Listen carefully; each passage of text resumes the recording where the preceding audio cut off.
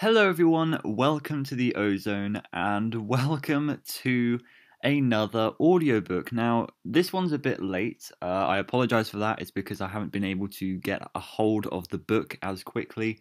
But today we are reading the first story of Blackbird, which is the sixth Fazbear Frights book.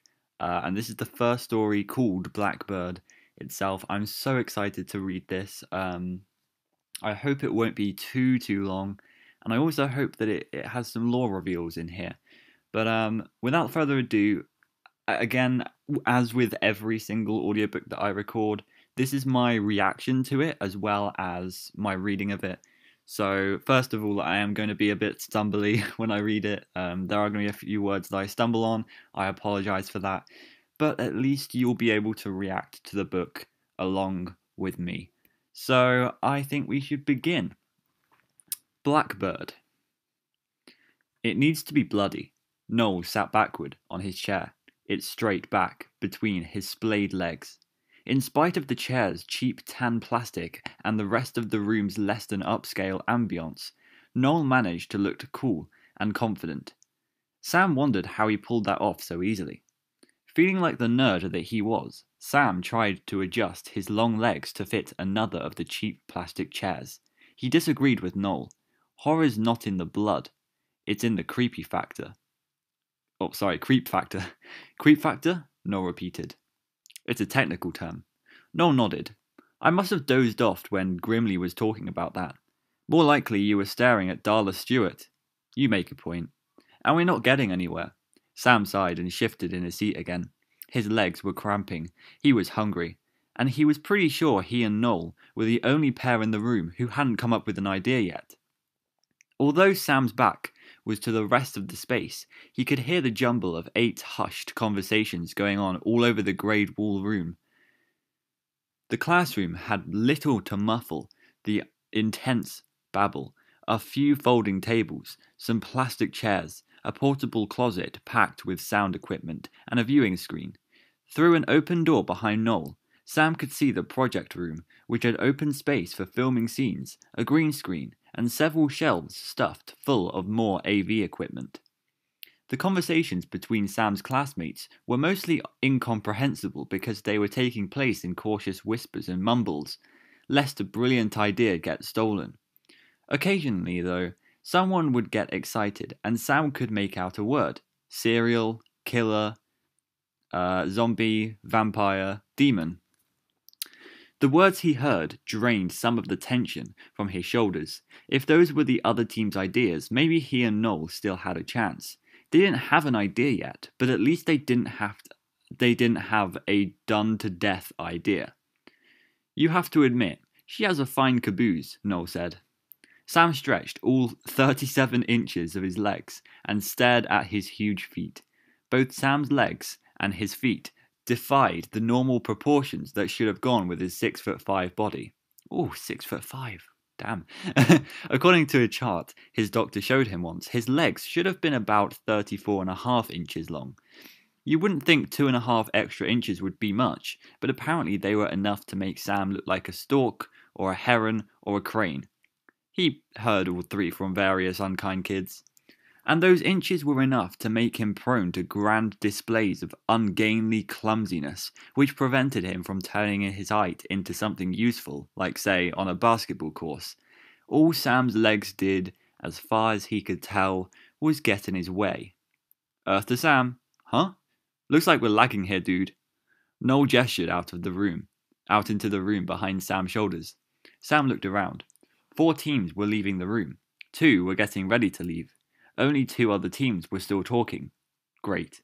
Actually, it was kind of great. Sam thought better in silence. He looked at his watch. The classroom was open for another half hour. They had 30 minutes to come up with something.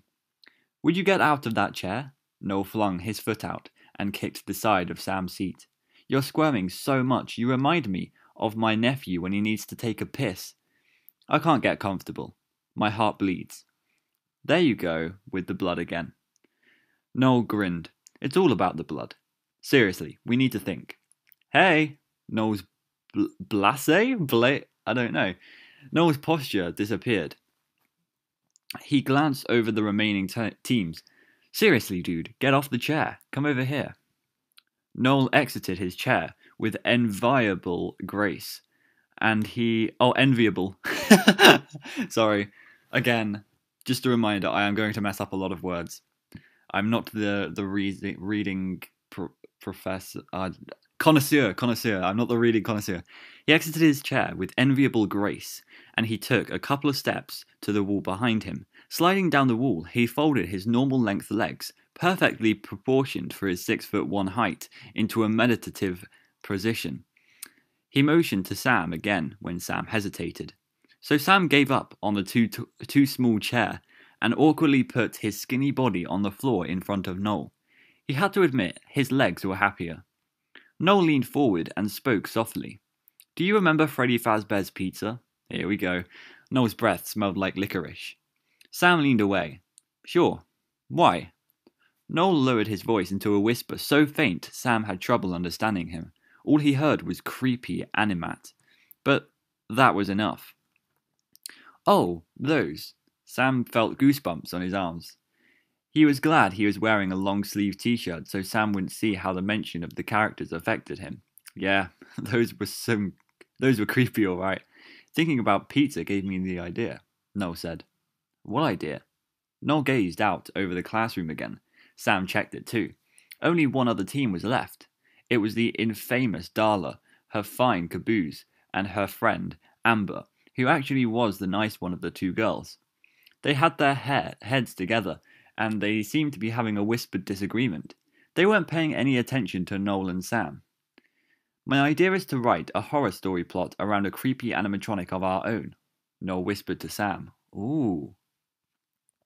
Sam, edgy from just thinking about Freddy Fazbear's uh, animatronic characters, had to admit that was a great idea. I like it. Awesome. Noel held out a fist, and Sam bumped it. So, what would be a good character? Noel asked. You're asking me?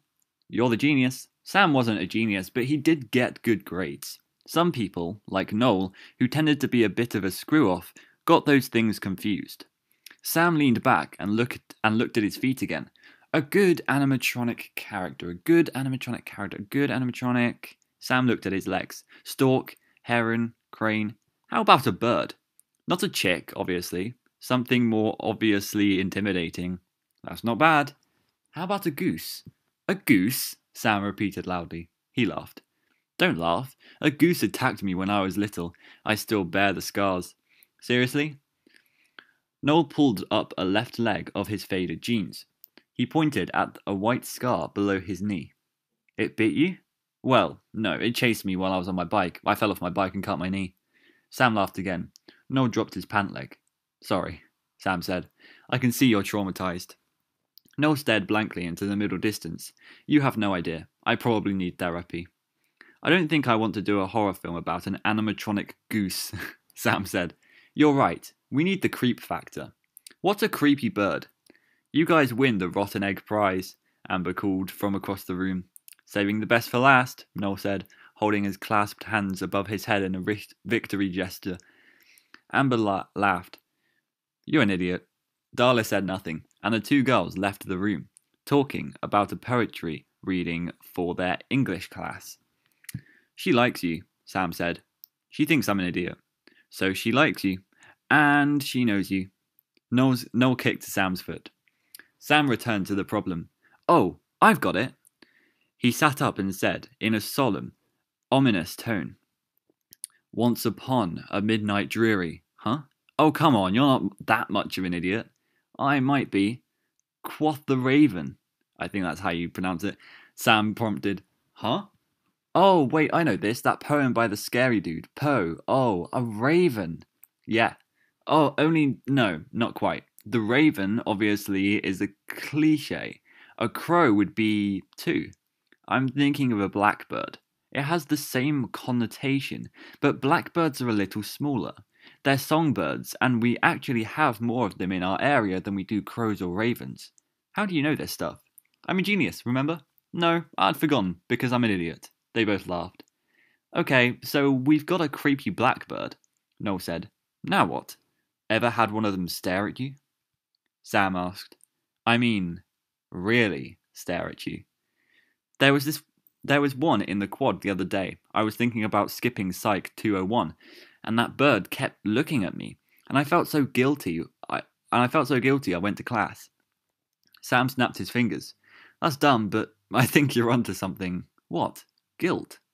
Idiot here, remember? You have to smell it smell it? Spell it out.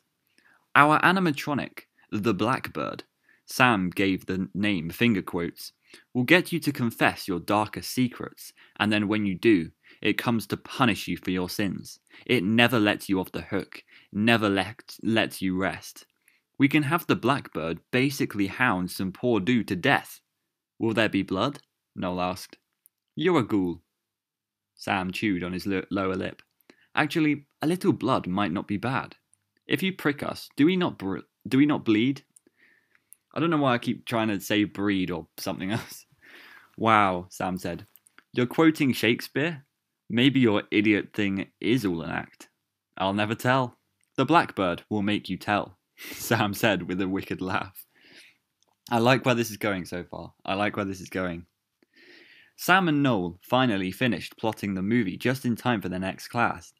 Even though he was arguably too tall for the role, Sam thought it would be fun to play the blackbird. Noel, who honestly didn't want to dress up like a bird, said Sam's size would make the blackbird even scarier. That left Noel with the part of the poor, beleaguered, guilty guy.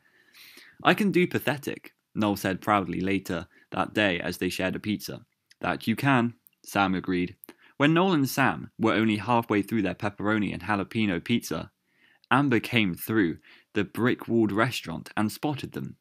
Do you have room for one more? She pointed at the black vinyl booth seat Noel sat on. Noel scooted over. Sure, but keep your mitts off our pizza. I don't want your stinking pizza, Amber said. Sam grinned at Amber as she flagged down a server and ordered a so- soda. So, what's your movie about? she asked. Wouldn't you like to know? Noel said, eyes narrowed in suspicion. Amber sniffed. As if. I was just making conversation. What's yours about? It's about knitting. Her smirk said she was feeling pretty good about her project.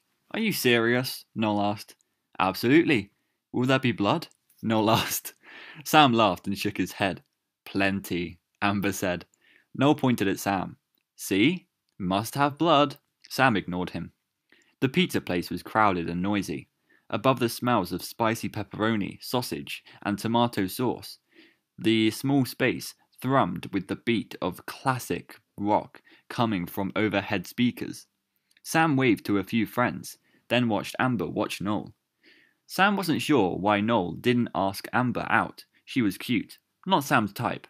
The few girls he'd, he'd gone out with were taller and more serious than Amber. But Noel, Noel liked girls he could laugh with, and girls seemed to like Noel's blue eyes, athlete's body, and scruffy blonde hair. Amber, also blonde, blue eyed, and in good shape, looked good sitting next to Noel. She even dressed like he did, usually wearing faded jeans, white shirts, and, when the weather allowed it, leather jackets. Classic. Uh, Sam blinked when Amber leaned across the table, blowing the paper wrapping off the end of her straw and towards his face. He told me your movie is about a bird. I think he's lying. Sam smiled. Actually, he's not. You mean like the birds? Noel snorted and waved a slice of pizza around. We're not that derivative. Oh, big word, Amber said. Sam laughed. Actually, they were being a bit derivative, weren't they? Is that how. Derivative, yeah. Sorry, they were piggybacking off the Freddy Fazbear's pizza.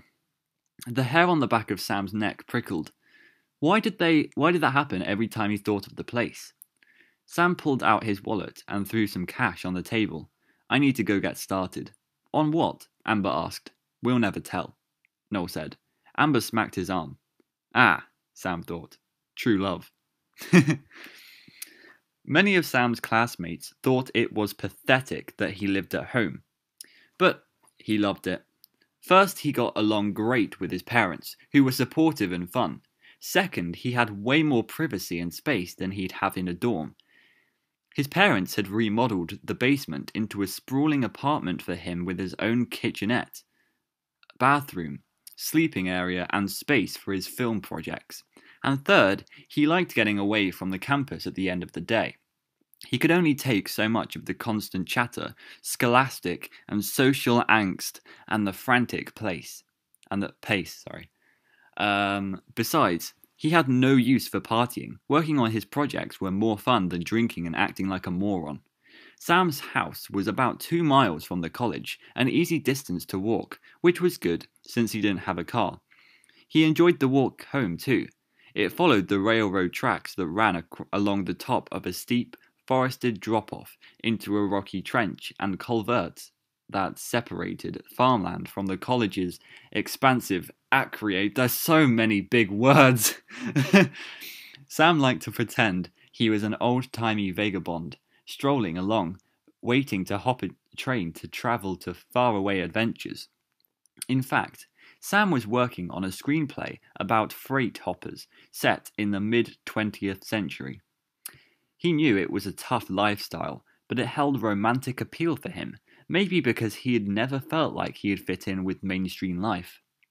And of course, his current project wasn't going to help with that. Three days after Sam and Noel decided on their horror movie plot, Sam sat in his special orders desk chair his mum had gotten for him, at the huge craft table in the basement. Covering the pale blonde wood table were piles and piles of long black feathers. Luckily, Sam's dad was a merchandiser who had gift for finding rare items. He could locate pretty much anything Sam ever needed for his projects.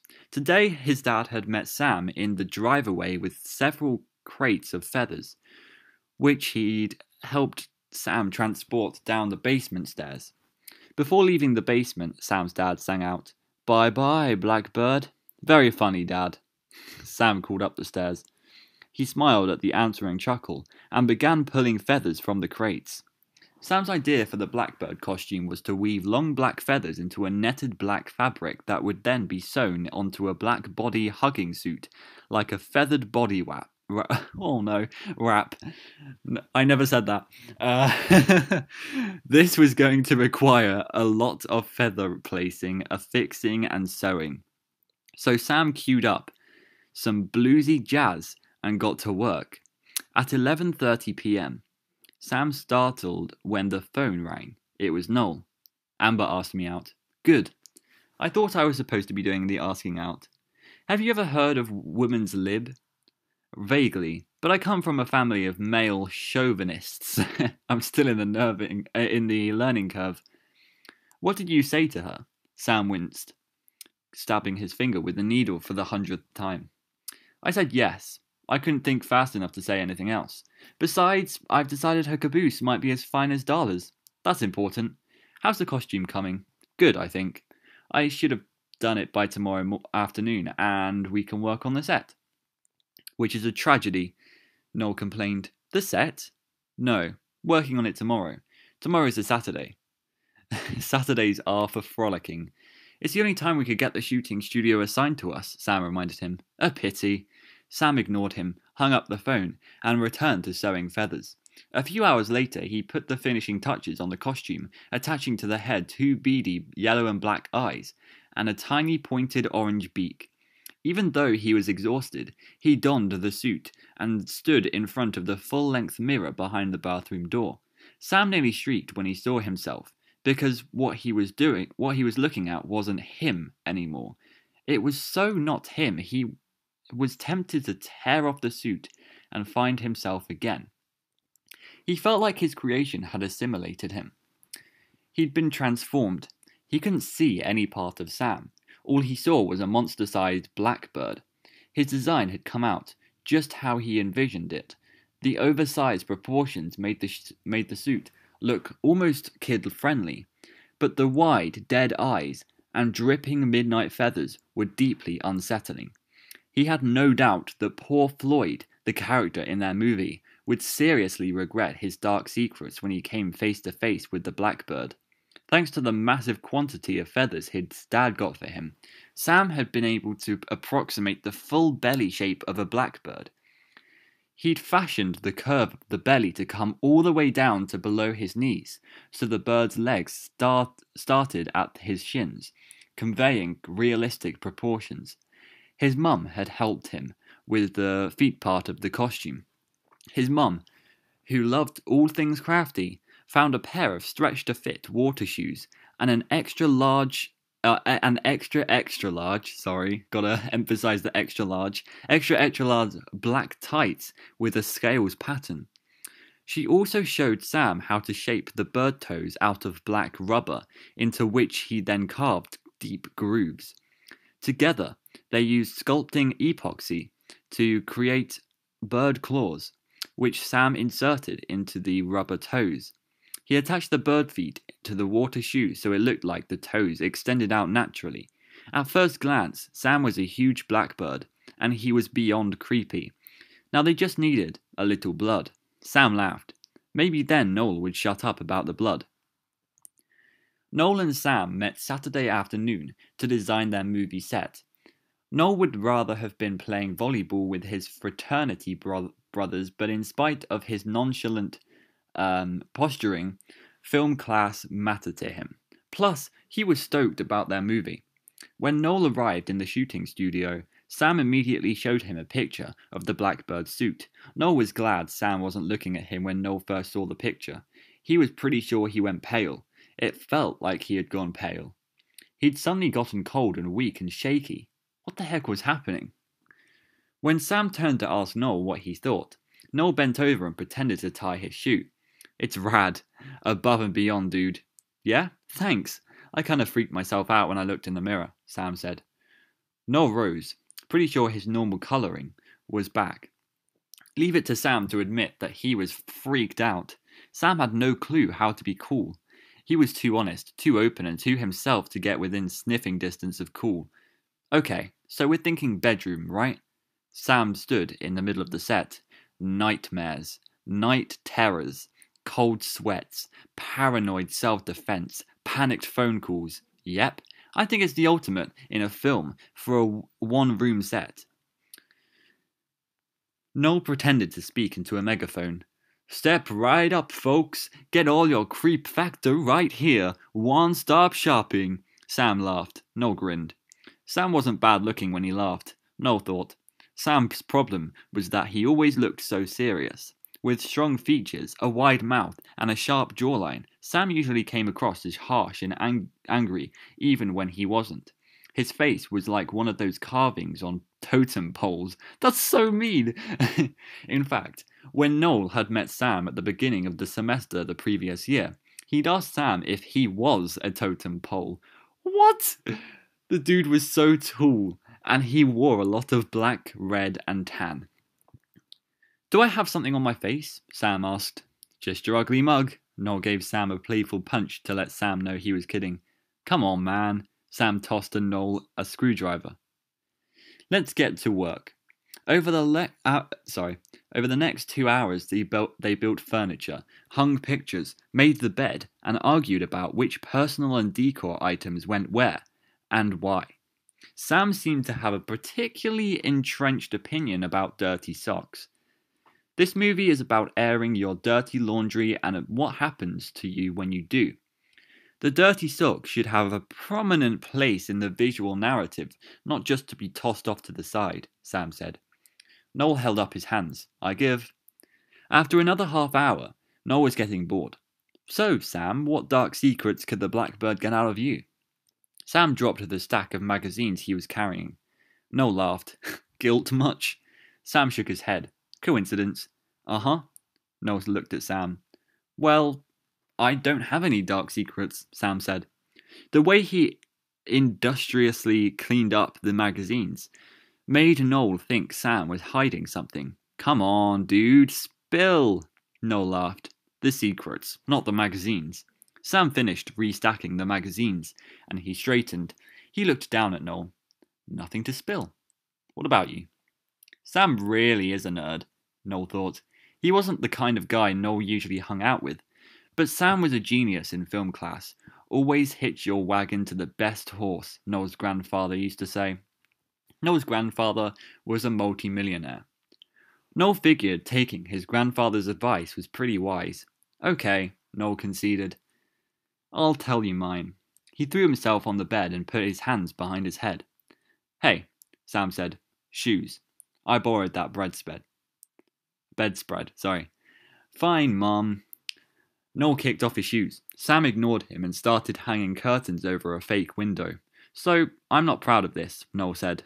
But was that true? Might it be possible, if he really was telling the truth about his dark secret, that he was a little proud of it? If it's a dark secret, I don't know why you would be proud of it, Sam said. Okay, whatever. So when I was in junior high, uh, sorry, I was going to say high school. so when I was in junior high, I would have been maybe 12 or so, I guess.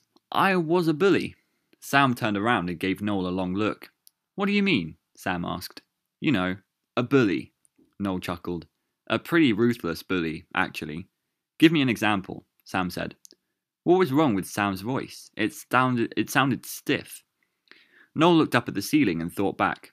Well, you know, the usual. Basically, I called them as I saw them. Sam leaned against the wall and stared at Noel. I still don't get it. Noel sat up in the bed. Okay, so there was this really awkward fat girl. She had all these weirdo habits, and like she wouldn't look at you in the eye, and she was always squeezing her hands together, and she had trouble talking. She didn't stutter, but she seemed to have trouble figuring out how to talk. She was just weird. She had funny facial expressions, and she wore the stupidest clothes I've ever seen. I mean, it looked like she did all her shopping at thrift shop at thrift stores, not the cool ones. All of these sentences are tongue twisters, I swear. Her clothes never matched and stuff, so I started calling her second hand, SH for short, and when she'd walk down the hall, I'd go, shh. It caught on, and pretty soon everyone was doing it. Noel laughed. That was a riot. Stuff like that. Oh, and then one time she came to school wearing these high water pants. I mean, she looked so stupid. So her friends and I threw water in her face. Get it? High water. Noel laughed. And he wore and she wore these thick glasses and always looked like she was squinting to find her way. So I put a dead mole in her locker and asked if she was grieving her best friend. Noel guffawed. Sometimes he'd just cracked himself up. He looked at Sam. Sam wasn't laughing. Sam pulled out the chair they'd placed in front of the desk in Floyd's room. You really think that stuff is funny? Sam asked. Well, yeah, Noel said. Don't you? You have to admit it's clever stuff, right? Like, there was this time I got a bucket full of burrs that took a while to do, too. It's not easy gathering burrs. But, see, the girl's name was Christine Wilbur. I remember her name because of the burr ending. And she had this long, sting, stringy hair that she never washed enough. So I figured I'd do burrs for Christine Wilbur. Get it? Burrs for Wilbur? It was actually an experiment. I wanted to see if burrs would stick to greasy hair. Of course, I had to have a control, so when I threw the burrs, I also threw them at her friend Valerie. Valerie had frizzy hair, and I'm pretty sure she washed it too much. And sure enough, the burrs stuck better on Valerie than they did on Christine. I'll never forget them standing there outside the school like a couple monkeys picking lice off each other, trying to get those burrs out of their hair. Now, that was funny. Noel laughed. Sam shook his head. That's not funny. Noel raised an eyebrow, but didn't stop laughing. Seriously? Picture it. They're like two little monkeys. He pretended to be a monkey, picking lice off another monkey. Sam frowned, stood up, and started pacing around the fake room. Noel leaned back on the bed again. He pulled out a pillow from under the bedspread and plumped it up. I just made that bed, Sam snapped. Chill, I'll fix it when I get up. Sam kept pacing. He then abruptly stopped. Unless you're behind, you have to have noticed I'm not a normal looking guy, right? Noel tilted his head. You're tall, but so are a lot of my frat brother- brothers. They're tall and athletic, Sam said. I'm just tall. Okay, so when I was in junior high, I was already way too tall for my age, and my legs looked even longer than they do now because I was so skinny. So guess what happened to me? Noel figured Sam was bullied, but he decided to wait and let Sam tell his story. Noel knew he could be an idiot, but he wasn't stupid.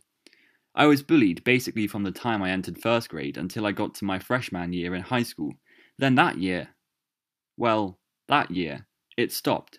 But I can tell you that those jokes you think are so funny, they're not funny to the people on the receiving end of them. Sam crossed his arms and glared at Noel.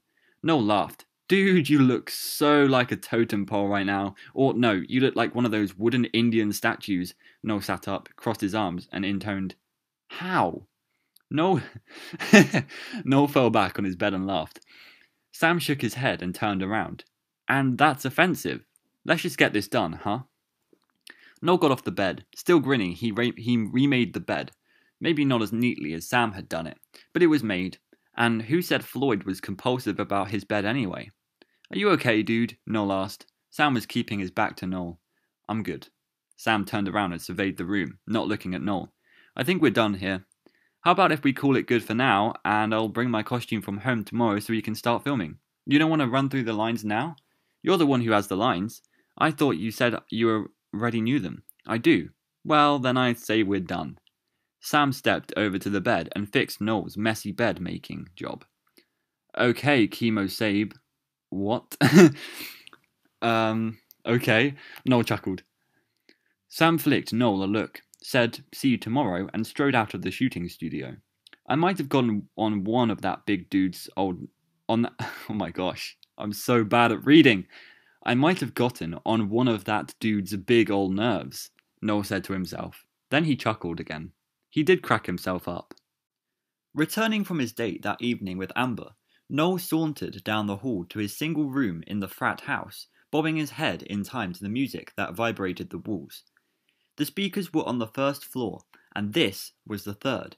But his frat bro- brothers were partying hard tonight. The whole house shook. It also smelled like beer, knockwurst, and unwashed laundry.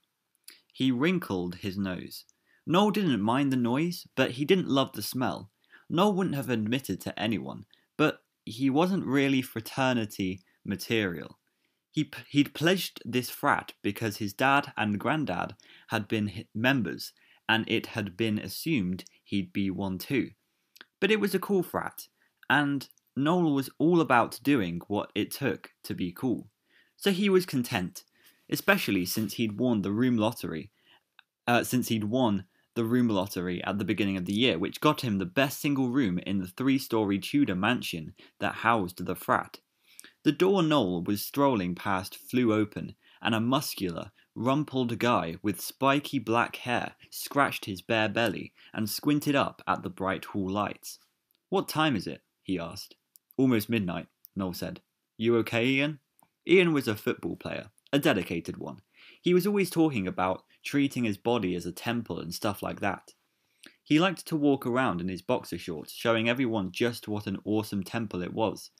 Noel thought Ian was a little full of himself, but he did find the guy's boxer shorts amusing. He had dozens of them, all in different colours and patterns. Tonight's boxers were white, but they were covered in bright yellow rubber ducks. Maybe it was the rubber ducks that made Noel notice Ian's grey clay like complexion and the dark smudges under his, ear, uh, under his eyes. You don't expect someone wearing rubber ducks to look like they're terminally ill. Not, st- not sleeping lately, and now this. Ian waved a hand at the throbbing beat that still massa- um, massaged? Yeah, I- will go with massaged. That still massaged the walls of the building. The music keeps you awake? Yeah, doesn't it keep you awake? Nah, nothing keeps me awake. Seriously? Seriously, I can sleep through pretty much anything. I'm envious. I have trouble sleeping every night. Must have a guilty conscience, Noel said. Ian's eyes widened. What? Chill, just kidding, Noel laughed and punched Ian on the cement he called an upper arm. Ian gave Noel a weak smile and stumbled across the hall to the bathroom. Noel rubbed his knuckles and headed down the hall to his room. Noel arrived back at the shooting, shooting studio at noon the next day, even though it was a Sunday, and he generally spent his Sundays watching sports on TV or playing in, intramural ball with his frat brothers. He figured he should get to the studio on time to mend things with Sam. Even though Sam hadn't said much, he was clearly pretty upset the day before. Noel must have pushed it a little too far. He knew he sometimes did that. When Noel discovered Sam wasn't in the studio yet, he stretched out on the bed to wait. Forty five minutes later, he was still lying there. He closed his eyes and must have fallen asleep, because when Amber charged in the room, he was so startled he almost fell out of the bed. Did you hear? Huh? He sat up. Hear what? He rubbed his face. What time is it? It's 2.30. The news about Sam. What news about Sam? Amber hugged herself. They think he might have been hit by a train. Oh god. She brushed at her puffy eyes. What? Apparently he made a costume for your movie. The one with black feathers? And they found feathers all over the tracks, for like two miles. All over the place. Noel shot off the bed. Is he okay? Amber shook her head. That's the thing. They don't know. He's gone missing. I've got to go. Noel charged past Amber and tore out of the film studies building. That escalated quickly. the railroad tracks ran along the back side of the campus behind the cafeteria, recording centre, and swimming pool complex. They were about a half mile from the film studies building, jogging past kids throwing frisbee in the quad and others studying in the shade of the campus's big cheddar. Is it? Oh no, how do you say that? Cheddar? Cheddar? I'm going to say cheddar. I know it's probably not cheddar, but of the campus's big trees. Noel ignored several greetings and concentrated on getting to the tracks. Hit by a train? Missing? Noel couldn't believe it. When Noel reached the tracks, his stomach clenched at the sight of a half dozen cop cars pulled up alongside the tracks and double that number of cops walking the area, their gazes to the ground. Pushing into the relatively docile crowd, uh, hanging out behind crime scene tape guarded by a large, balding cop. Noel approached the cop and said, I'm Sam's friend. Have you found him yet? Who are you? The cop asked. Sam's friend, Noel repeated. Noel Markham. Noel saw no reason to keep his name a secret. He hadn't done anything wrong. Had he? You know something about what happened here? The cop asked. I only know what a friend told me, that because of the feathers you think Sam was hit by a train and you couldn't find him. The cop eyed him. Could the guy have been more of a cliche? Big gut, shiny head surrounded by a black fringe of hair, dark eyes squinted to try and intimidate Noel, thick hands resting on his gun belt, the cop could have walked off a TV set, except this cop smelled like hair gel and cheap cologne. At least, TV cops were unscented. Noel eyed the cop right back. If you don't have something to tell us, the cop said, toying with his nightstick, get back there with everyone else. Noel didn't move. He, le- he leaned to his right to see past the cop. Even from there, he could see black feathers fluttering over the tracks the cop shifted his stance, and that's when Noel noticed a tall couple standing between one of the pe- police cars and a bright red Chevy Suburban. They were talking with a guy in a baggy suit. Noel bit the inside of his cheek so he wouldn't groan loud. Those were Sam's parents, Paul and Molly O'Neill. He'd met them when he when they threw a party to celebrate the previous semester's completed film projects. Really nice people. Both were tall and dark like Sam although Sam's mum wasn't as tall. She was almost as tall as Noel, though, hefty too. If there was something called Mum League in the NFL, she could have played. Call me Molly, she'd said when Noel had met her. Mrs. O'Neill is my mother in law. Noel remembered Molly had a great smile and an even better laugh. Right now, she wasn't laughing. She was crying, her head pressed against her husband's shoulder. Noel clenched his fists in frustration. How could he help? Molly looked up and he and she spotted Noel. Noel, is that you? The cop standing with Sam's parents motioned motioned for the TV cop to net Lol Pat. Oh my gosh, sorry, I'm I'm I'm messing up again. for the TV cop to let Noel pass. Noel couldn't stop himself from giving the cop a smirk as he went past, but his smirk died a quick death when he saw Molly's pinched white face. She rushed to Noel and threw her arms around him. You heard? Oh, Noel, he's missing, but they say he probably couldn't have survived. Her voice broke, and she turned back toward Paul. Paul held Molly with one arm and offered his other hand for Noel to shake. Holding Molly close, Paul said, Because of the way the feathers of his costume are scattered, they think he was probably grazed by the train and then thrown clear, but they haven't found him. Noel frowned and watched a black feather scuttle over the ground near the rails. That's when he noticed blood on the rail on the opposite side of the tracks. Not a lot of blood, just one smear, but it was a big smear. And a police officer was taking a picture of it. Blood. Noel thought. There had to be blood, he kept telling Sam. Oh my gosh. Noel lingered by the tracks with Sam's distraught parents the rest of the afternoon. By then, the police had declared Sam missing, presumed dead. Multiple search parties had been sent out. Noel had even been part of one, but no one found anything. When Noel left the tracks to return to his room, he let Molly and Paul hug him, even though he didn't want to be hugged. Being near them was like standing next to a loudspeaker for emotions. Their grief was amplified by their facial expressions and memories about Sam. The clamorous sense of loss was more than Noel could handle. He couldn't stand to be around Molly and the cops anymore. He had to get away. Once Noel started walking away from the scene at the tracks, he couldn't stop. He just couldn't process what had happened. How could Sam be dead? Was it my fault?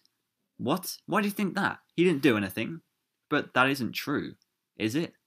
He kind of did do something. He'd been a bit of a jackass the day before, and Sam had been upset. He'd tried to hide it, but Noel could tell Sam was pissed when he left the studio. So what if being upset had made him careless? But it happened this morning, not last night, he told himself.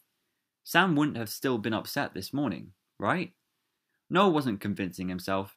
Why did he have to be such a jerk sometimes? Yo, Noel, go long! Noel looked up to see one of his intramural buddies holding a football and pointing. Noel trotted in the direction indicated and caught a somewhat wobbly spiral after juggling it a couple of times.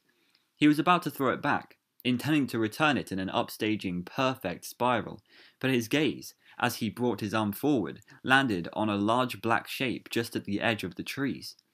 Noel let go of the ball, and it flopped all over the place before landing 50 feet short of its target. Worse, Noel's friend called. Noel ignored him. What had he just seen?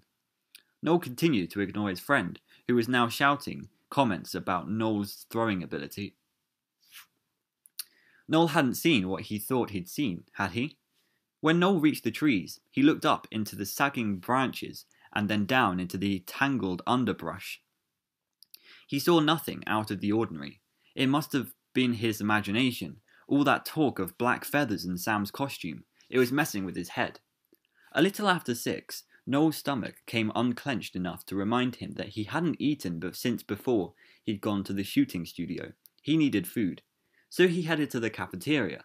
Not much of what was served there could be called food, but he was hungry enough to eat pretty much anything at this point. The cafeteria was only half full, as was usual on Sundays. A lot of students went away for the weekends, and even more ate out. Usually only the nerds were around about now. Hey, Noel didn't have to turn to identify the speaker. It was Amber. He wasn't sure what to say to her. Their last exchange felt like years ago. She must have come looking for an update about Sam. Noel turned. Hey. I, um, never see you here on Sundays. Noel let out a sigh of relief at the slight hint of sarcasm she managed to slide into pretty much everything that came out of her mouth, even when sarcasm wasn't required. He wasn't sure he could talk about Sam right now. That's because I'm never here on Sundays. So you're not here now? obviously. Amber rolled her eyes. So is your clone going to get in line or just stand there getting in the way? Noel couldn't help himself. He grinned. He'll get in line, just so he doesn't put you out. Nice of him. He's actually a pretty nice guy. Noel stepped back and motioned for Amber to go ahead of him. He should give you lessons. Amber winked at Noel as she passed him. Noel followed Amber through the line, grabbing some of this and some of that. He had no idea what he was putting on his tray. He was already distracted by what had happened to Sam. Plus, he was trying to puzzle out what he'd seen by the trees, and now Amber was befuddling him. He'd only recently figured out he might like her, and they'd gone on their first date the night before. It had been good, but today kind of wiped the date from his mind. Should I have called her by now? It would have been nice, Amber said. What? You just said. Should I have called her by now? I did. You did. I, I, I said that bit wrong, but whatever. Uh, I did. You did. She gave him a sideways glance. That had to be evidence of his whacked out mental state. Noel decided maybe he should stop thinking completely. Finding himself at a big round table covered in crumbs and smeared with something red, Noel sat down. He stared at the red smear. Surely not blood. Must have been ketchup. Why did he have blood on his brain? Noel glanced at Amber to make sure he hadn't said that out loud. Apparently not. She was putting past. She was putting blue cheese dressing on a big salad. The cafeteria was about a third full. Conversations were muted and silverware or dish face offs were intermittent. Outside the wall to wall windows, the quad was emptying. The sun was dipping behind the tops of the trees where Noel thought he'd seen nothing. I saw nothing, he told himself. Noel looked at his tray. He blinked. Somehow he'd managed to get. Oh god, what is that? Sauerkraut? Somehow he'd managed to get beets, mashed potatoes, three dinner rolls without butter, two dill pickles, and three types of pie. Are you pregnant? Amber was eyeing his tray too. Apparently. Noel picked up a spoon, realizing he hadn't got a fork. He dug into the mashed potatoes, as if all was right in the world. He noticed that the cafeteria smelled like beef stew. What was that? What was. What? Oh my gosh. was that the entree he missed? I think that's how you pronounce that. Um, Amber chewed and then put down her fork. I'm sorry about earlier. For once, her words were free of sarcasm. Earlier? When I told you about Sam, I shouldn't have dropped it on you the way I did. Noel grabbed his glass and took a drink of what was in it to wash down the gluey mashed potatoes. He discovered he'd gotten some sweet iced tea. He hated sweet iced tea. It's okay. Amber put her hand on Noel's arm. No, it's not. I'm sorry. I, I didn't realize how you two were so close. Noel shot a look at her. Was she being sarcastic again? No. Judging from the little crimp between her brows, she was concerned. We're not that. Noel began. Then he realized that, yeah, he was pretty close to Sam. They'd started out as a complete mismatch, assigned to work with each other. Noel was rushing his fraternity. Sam lived with his parents. Noel was cool. Sam seemed to go out of his way not to be cool, so screamed his almost military haircut, his crisply ironed shirts, thanks to Molly, and that legal briefcase he usually carried instead of a backpack. You're not? Amber said. Noel shook his head. Yeah, I guess we've gotten sort of close. He's kind of a strange dude, but he's smart and he's funny. He's a nice guy. Like you, Amber said. Noel frowned at her. He stood up so abruptly, his knee hit the table, and all the dishes rattled on the trays. His tea sloshed. I've got to go. Amber looked up at him. It's like deja vu. Huh? She waved him away. Call me when you find your brain. Okay. Noel strode away from the table and dumped his tray in the return area. The uneaten food earned him a stern glance from one of the round women with the hairnets who worked in the cafeteria. He didn't care. He just had to. What was that? Noel stopped just outside of the doors of the cafeteria and stared down the hall.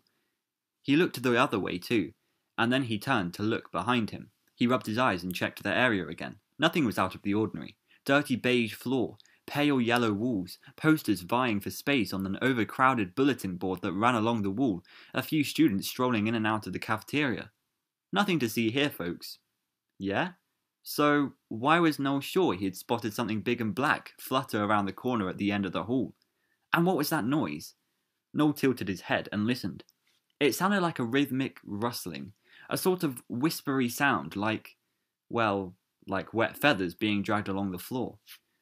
Noel trotted out of the cafeteria building, stopped, bent over, and took a couple big breaths of fresh air outside. You okay? No? Noel looked up. One of his frat brothers, Steve, stood at the bottom of the stairs, his arm draped around a pretty red-haired girl.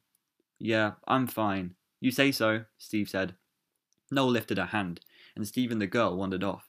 Noel headed for the frat house. Noel sat on his bed, his legs spread out and his hands loosely in his lap. He rolled his head around, listening to his neck crack, and he took several deep breaths. When you're tense, adopt a relaxed posture, loosen your muscles, and breathe deeply, his mother taught him when he was little and was really worked up about something. Tell your body how you feel, and it will come along for the ride. Usually that worked pretty well, but not this time, for some good reason. This situation was a little beyond old school rela- relaxation techniques between leaving the cafeteria and getting into his room. Noel had seen something, not someone, but something, following him four times. Four times! Something. But what? Four times. Sam had weird had, had heard that weird sound, a cross between the sound of the wind and a fluttering noise combined with regularly spaced airy thumps. No matter how many times he tried to tell himself he was hearing some kind of mechanical contraption of some or some sort of air conditioning or fan unit attached to one of the buildings on campus, he couldn't convince himself of the lie. The truth was that he was hearing the sound of feathers, lots of them, brushing over the ground and grazing the edges of trees and buildings. It might have been easier to believe his lies about the sa- sound if he hadn't also seen a mammoth, lurching swell of feathers rippling just at the edge of his peripheral vision, Four times he'd seen these sinister forms billowing in, billowing in and out between the trees. Well, seen was a bit of an overstatement. He actually wasn't sure about what his eyes had told him. The word seen implied a direct vision of something. Noel hadn't had that. He'd had this idea of seeing something, but the more he kicked around the idea, the more he became convinced he had seen something. Something had toyed with his senses, something just beyond the reach of confident visual surety. Sure, yeah, surety. That something had been massive, black, and feathery, and there it was again. A large shape darkened Noel's small west fa- facing window, blotting out of the sinking sun for an instant. Noel only caught it out of the corner of his eye again, but it was there. Noel bent over and put his head in his hands. Oh man, oh man, oh man, oh man. He straightened up. Get a grip, he ordered himself. Taking a deep breath, he looked around his room. Noel might have looked just sloppy enough to be cool, but he liked order in his surroundings. He was a minimalist. His room was soothingly white. The maple furniture had clean lines, though it was lightly stained. The small fridge he used for bottled water and the occasional leftover pizza, if he left it in the main kitchen it was sure to get stolen, was white with sleek lines. The bed was made, if a bit messily, and covered with a plain tan comforter. The rug under the bed was sisal. Again, don't know what that, that means, but okay. The floor and all furniture surfaces uh, and surfaces were clutter free. The only things on his walls were a few black and white still shots from old movies. Noel's frat brothers kept trying to get him along to hang uh, hang the frat Greek letters in his room. Noel said he didn't need them to know what frat he was in. That refusal was just one of many that had earned him the nickname No. The black shape passed his window again.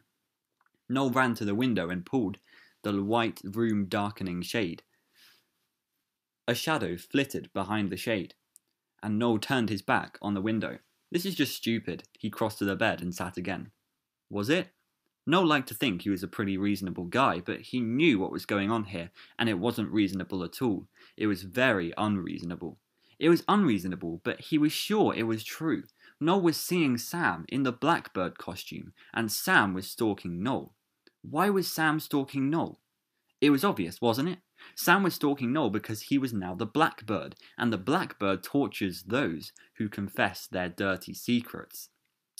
So, first, Sam was going to toy with Noel the same way a bully toyed with his victim, and then Sam was going to kill Noel for being such a horrible person. Noel was sure of it, and that was the worst part. And the worst part was that Noel deserved it. Ooh!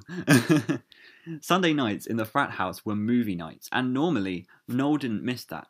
Not just because he helped organise the events, but because he enjoyed them. But tonight's movie was a horror flick with blood, and I love the mention of blood, uh, and Noel wasn't up for it.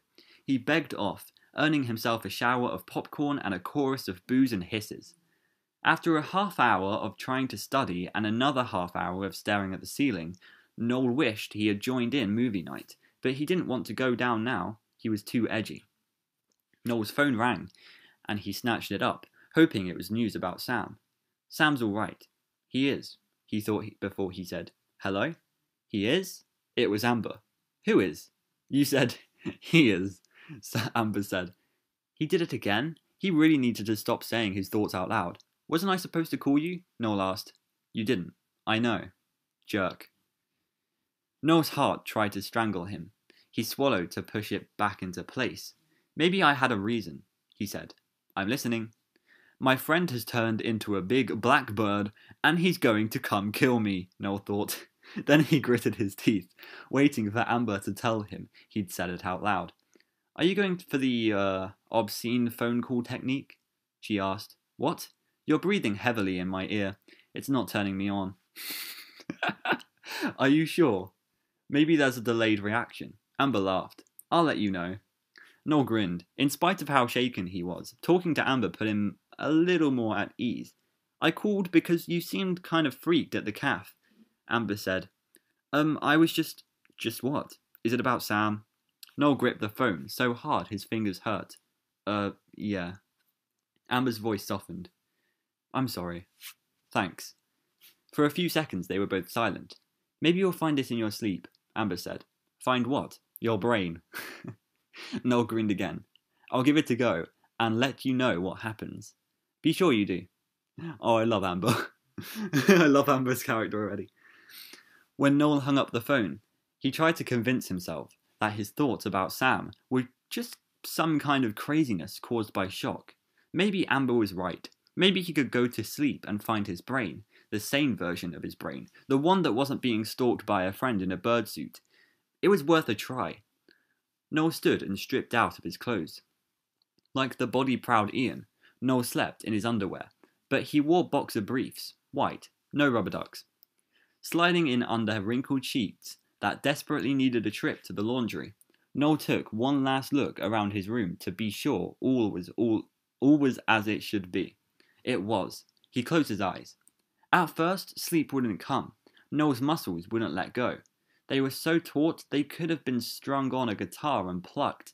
As if they'd been plucked, Noel was sure it, they'd sound dissonant. There was no question he was out of tune. Noel tried closing his eyes. Sleep began to take him, and as soon as it did, images of implausi- implausibly, sorry, images of implausibly huge wings scraped against his lids. Then he felt gigantic feathers battering against his entire body. He was being pummeled by stiff, elbow length feathers. He could feel them drub against his skin in an eerie contrast of soft versus hard. How could something as light as feather beat him with such power and force? Fear pushed sleep from his consciousness. His eyes shot open. Flailing for the switch on his nightstand lamp, Noel listened to the thundering pace of his heart. Okay, that was alarming. Was that a dream? No, it couldn't have been a dream because Noel had never fallen asleep.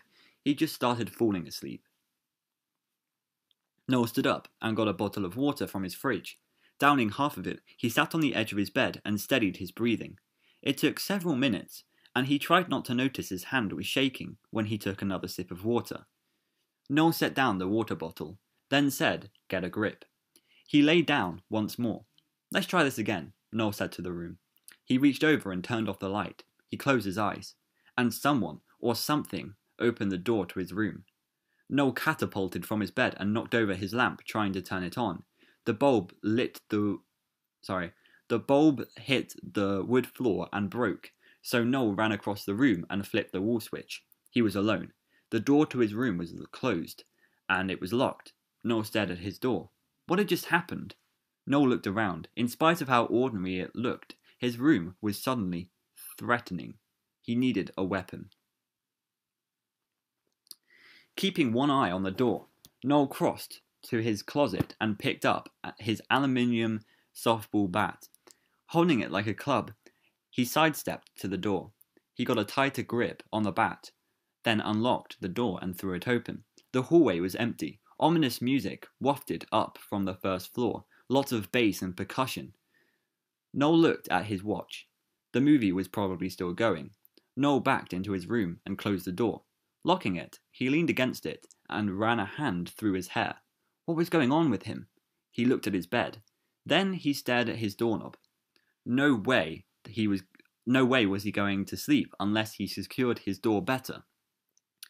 Feeling a little like the idiot Sam used to say he was, Noel stepped over to his desk, grabbed his chair, and wedged the top of the back under the doorknob.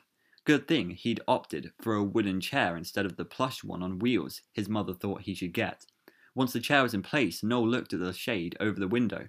The window was locked, right? Still clutching his softball bat, Noel checked his window. Yes, it was locked. Good. Now, can you stop acting like a paranoid mental patient? he asked himself. He didn't answer himself because he had no idea if he could stop. It didn't seem to be in his control. Noel stood in the middle of his room for several more minutes. Then he decided there was no way he was going to sleep. So he righted his lamp and went into his closet for a broom, a dustpan, and a new bulb. After he cleaned up the broken bulb and put a new one in the lamp, he grabbed his laptop and got in bed with it. He might as well work on the new screenplay he was writing.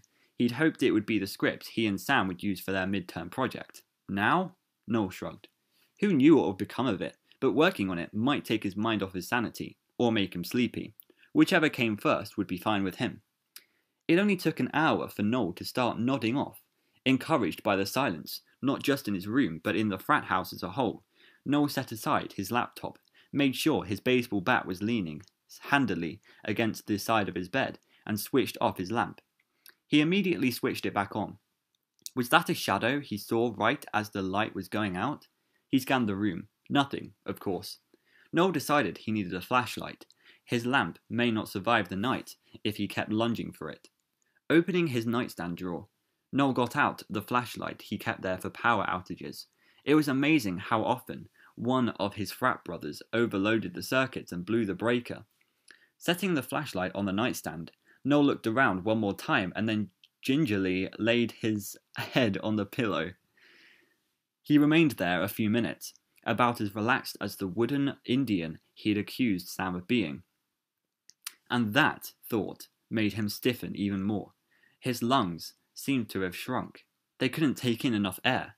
He tried to blank out his mind. Think of good things, his mum always said when he was little and he'd get upset. Then she'd sing that song she always sang when he needed cheering up. He never had the heart to tell her the song didn't do it for him. He wasn't that fond of rainbows or kittens, but he did like Amber. He'd think about Amber. Amber had freckles, just a few of them. They crossed the bridge of her nose like bird tracks. Noel stiffened again. What? Ixnay on the Erdsbay. Ixnay on the Erdsbay. Yeah, Ixnay on the Erdsbay, of course. Noel told himself. He tried again. So Amber had these freckles, and she had a matching trail of them across the top of her chest. He noticed them peeking out over the neckline of the white tank shirts Amber liked to wear. He also liked that about her. She stuck with jeans and white shirts. He never met a girl as unconcerned with fashion as she was, but she still managed to look great. Maybe it was the wild, shoulder length, wavy blonde hair. Noel's eyelids started to droop. Trying not to hold his breath, he reached out and turned off his lamp. He lay still and listened. Nothing. Good. Noel closed his eyes. And the window swept open. Something hit the floor with a thud. Noel grabbed for his flashlight, and he ended up knocking it across the room. He heard it clatter against the far wall. Noel seized his bat in the dark with his right hand and felt with his trembling left hand for the light. He managed to turn it on without breaking the bulb. Light flooded the room and revealed nothing. What the hell? Noel yelled. He was sure he'd heard the window open. He knew he'd heard something hit the floor. Did he dream it? He shook his head. No way. It had sounded too real. Crossing to the window, Noel checked the lock again. It was latched. Okay, fine. He'd sleep with a light on. Didn't he tell Ian he could sleep through pretty much anything? And he could, so he would. Noel retrieved his flashlight and set it on the nightstand. He repositioned his bat and he lay down on the bed again. He looked at his watch. It was only 11.25. Could he call Amber? And say what? Want to come over and listen for invisible intruders with me? There was a line he'd never tried before. No, true. True? Oh my gosh. Noel threw his forearm over his eyes, but kept his eyes open. Why did he push Sam so hard yesterday? Noel rolled over and punched the, win- uh, the p- pillow. This is when you know I need to stop reading. um, is this really the time for psychoanalysis? He asked himself. He knew he shouldn't have taken that psychology class this semester. He did it because his advisor said psychology was helpful for all writers and filmmakers. He hadn't been prepared for how much it forced him to examine his own actions and motives. But since he didn't want to close his eyes yet, why not ask the hard questions? He'd known Sam was getting pissed off yesterday, but he'd kept needling him. Why? And even more important, why had he enjoyed bullying Christine so much in junior high? What was it about her that brought out that level of cruelty? Because there was no doubt about it. He'd been cruel both in junior high and the day before. What did he get from that? Did it make him feel better about himself? He tried to remember something useful from his Psych 201 lectures. Was it mirroring? No. That was when you acted like someone else. Was it projecting? No. Wasn't that putting your feelings off on someone else? Displacement? Hmm. Getting closer. That was taking out your frustrations and impulses on someone or something less threatening than what's bothering you. Threatening. I, I meant threatening. I said it like threatening. Ah, he might be onto something. But he was so tired. Noel's eyes closed, and finally he fell asleep. A screeching squeal somewhere between an alarm's buzz and a siren's wail, a sound that barely came in under ear damaging levels, wrenched Noel from cushy oblivion and hurled him back toward Earth. At the same time, a spine scouring lightning strike burned an image of the blackbird into Noel's brain, marking Noel's mind like a dreadful brand. Noel fought to find his way back to full consciousness, but he couldn't get all the way there. He was awake enough to know he'd been dragged from sleep, but that was far that was as far as he could go. It was like something was holding him in place, clamping him into restraints in a way station between thought and no thought. He felt literally pinned to the bed. He could even feel the stabbing pressure of something sharp digging into his skin at the wrist and ankles. He tried to buck off his assailant, but he couldn't move at all. He was utterly paralyzed. He could feel the pressure getting stronger and stronger, pushing him deeper into his mattress. He felt like some he felt like he was being compressed into nothingness. And still, he tried to battle the force above him. He poured every ounce of his will into his muscles, and he grunted and strained to get free. His confinement got worse, not better. Noel suddenly sensed an evil presence hovering over him. No, not hovering, sitting. The presence was sitting on Noel's bed sitting on Noel. It was pressing down on him, engulfing him, insulate, insinu- insinuating. Sorry, I, I read it as insulating, engulfing him, insinuating itself into every part of him. And then, with a flash of light, he was free. He busted loose from his bizarre captivity and awoke so fully that when he opened his eyes, he was completely alert and he had his bat in his hands. That that was a good thing because Noel was not alone in his room a demonic presence of tenebrous feathers were poised above right above his head. So Noel swung his bat. In the nanosecond he swung, or was it the nanosecond before he swung? Uh, the thing above Noel's bed disappeared in an eruption of feathers that spewed throughout the room. Then the feathers vanished into nothingness. It happened so fast, Noel couldn't be sure it happened at all. All he could be sure of, though, was that the swing that he did swing his bat. He knew this because his lamp hit the floor, and another bulb bit the dust. The time span in which Noel had seen the feathered thing was infinitesimal. In, in wow, there's so many big words. Infinitesimal. There we go. I, I do know I do know that word, but it's it's hard to say when you're just hit with it. Uh, get it? Hit with it. Uh, it wasn't even a second. Noel's room went from sound and havoc to utter silence and stillness in the blink of an eye. And yet, and yet, the image of what Noel had seen in that blink was burned onto his retinas, because he hadn't just seen feathers, he'd also seen soul drilling, malevolent yellow eyes, and a pointed, threatening beak. Those eyes had locked on to Noel's eyes. The sharp beak had aimed itself right at Noel's guilty heart. Noel was sure it was the blackbird, leaning over him with malicious intent. This wasn't just a still shot. This was a complete horror film playing out behind his eyeballs. in the theatre of his own mind. That's a very nice metaphor. Without blood. Sam was right. You didn't need blood to have horror. The creep factor was horrific enough. Noel emitted a sound that was half moan and half laugh. It sounded like the strangled sob of an unhinged man. How strange that in just a few hours, Noel had gone from a well adjusted college guy to a paranoid mental case. Because he had to be crazy, right? To believe the horror that he and Sam had grafted on the fly had come to life? Noel stood and paced around the room. Adrenaline was still coursing through his system, and he needed to get it out. After three U shaped passes back and forth around his bed, Noel decided one thing. His room was not big enough for his nervous energy, so Noel strode into his closet and grabbed sweats, a t shirt, a hoodie, socks, and running shoes. By the time Noel stepped into the bright hall, it was eerily silent in the frat house. He checked his watch again. It was almost 1 a.m. Wait a second, where did the last hour and a half go?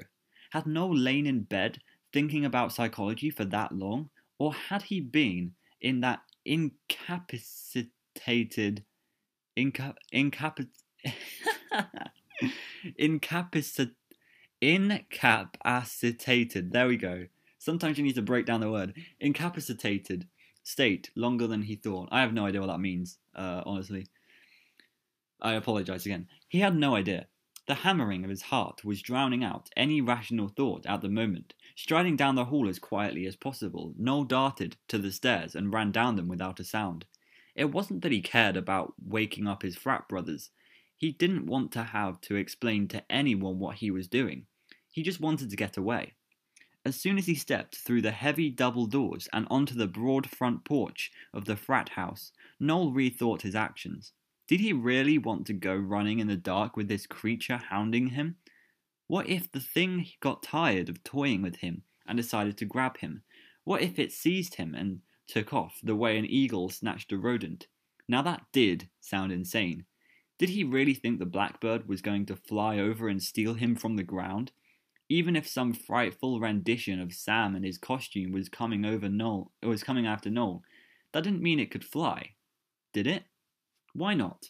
If any, if any of what happened today was possible, then anything is possible. Noel turned and ran back up to his room. He spent the next two hours trying to stay awake. He was too terrified to try and sleep again, so he did push ups and sit ups. He listened to music. He played games on his computer. Finally, he started watching a movie. The movie was what did it, what is what did him in. He had to close his laptop, and sleep overpowered him. As soon as Noel closed his eyes, the high pitched, uh, what is that? The high pitched caterwauling sound started again. He tried to cover his ears, but again he was paralyzed. Every time he tried to writhe against whatever um, whatever force held him down, he had to push through the horror that still played in his head the brutal eyes gazing into the murk of his very essence, the beak like a scythe of judgment cutting through his heart. Oh, I love that. I love this. Um, he's he's using, or the writer is using very good metaphors and stuff. I, li- I like this a lot. In his benumbed consciousness, inky feathered shapes uh, streaked toward him, then retreated over and over he felt like a fat, helpless worm inching through the dirt. The blackbird was merrily playing with him before plucking him from the ground and swallowing him whole. The sound and the image were tearing him apart from the inside, and he still fought. Still, he was held in place, until he wasn't. As before, Noel came back into the land of the living with a crack of radiant light and a gaping silence. As before, he was on his feet immediately. And as before, the evil trespasser disintegrated into oblivion as if it was never there. Which it clearly wasn't, even though every iota of Noel's being was arguing that it was. Noel was going to lose his mind if he didn't get out of this room. Once again, Noel opened his door and headed through the frat house. This time, when he got to the porch, he didn't let himself think. He just took off running down the, the brick path leading toward the quad he had to get away, and that meant running. The campus was dead still. Noel couldn't even hear a car in the distance. He wouldn't have been surprised to find out that the campus had been isolated under a glass dome. But no, it was still in the real world. It seemed to be a perfectly normal campus hanging out on Earth. The night sky was black. Clouds must have blown in. Bushes gyrated in a breeze that hadn't been blowing for a, a, few hours before. An occasional torn poster or candy bar wrapper skittered over the bricks. The campus was lit by a series of wrought um, iron lampposts, which cast a mesh. Uh, oh my gosh, a mesh. I, I don't have a list, I swear. Iron lampposts, which cast a mesh of shadow and light over the concrete and foliage. Noel found it mildly disorienting to look at. He seemed to see a feather in every blade of grass or errant branch. So Noel kept his gaze directed at a spot on the ground, fifteen or so feet in front of him, to try and keep his focus and also center his thoughts. He'd been running as fast as he could, as if running for his life. He might have been running for his life. Something was torturing him, relentlessly. How could he escape it? For now, he'd run. Noel turned to look behind him, and his shoe caught a tree root. He tumbled off the path into the bushes, lying on his back, holding a twisted ankle and wincing at the sharp pain that suggested he'd skinned his knees and elbows. Noel threw his head back and shouted, Enough! He closed his eyes, and the horrendous sounds started again. The chilling, feathered entity loomed over him. Noel opened his eyes, and of course, he was alone. Noel fought his way out of the bushes, thrashing to his feet.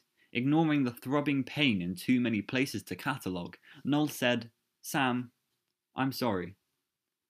Turning in a circle, Noel said it again and again, almost like a ritual. Sam, I'm sorry.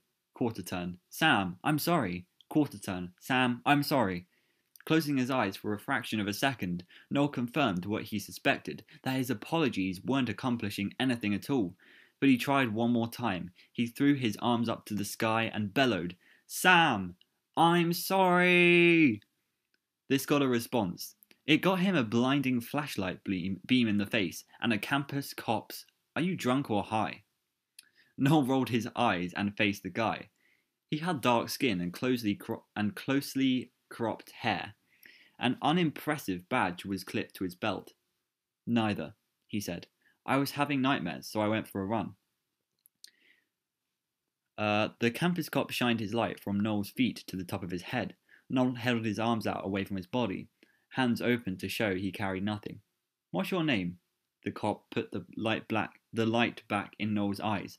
Noel squinted and looked away, frowning at the spots that cavorted across his retinas.